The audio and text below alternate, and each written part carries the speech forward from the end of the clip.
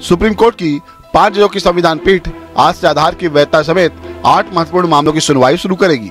Supreme court के मुख्य न्यायाधीश दीपक मिश्रा की अध्यक्षता वाली पाँच जजों की संविधान पीठ आज आधार की वैधता को चुनौती देने वाली याचिका पर सुनवाई शुरू करेगी।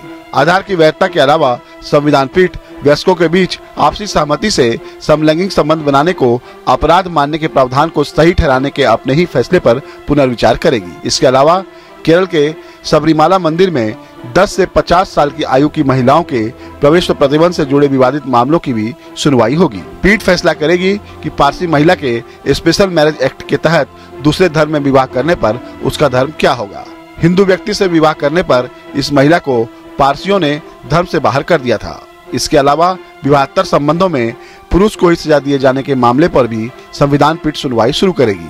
संविधान पीठ उन याचिकाओं पर भी सुनवाई करेगी, जिसमें सवाल उठाए गए हैं कि आपराधिक मुकदमे का सामना कर रहा कोई सांसद या विधायक कब अयोग्य माना जाएगा। सुप्रीम कोर्ट ने महत्वपूर्ण मामलों की सुनवाई को लेकर प्रधान न्यायाधीश दीपक मिश्रा और चार सबसे वरिष्ठ न्यायाधीशों के बीच एक तरह से मतभेद उभरने के बीच सुप्रीम कोर्ट ने मुख्य न्यायाधीश की अध्यक्षता में पाँच न्यायाधीशों की संविधान पीठ के गठन की घोषणा की, जिसमें ये चारों न्यायाधीश शामिल नहीं हैं। Bureau report Epiat.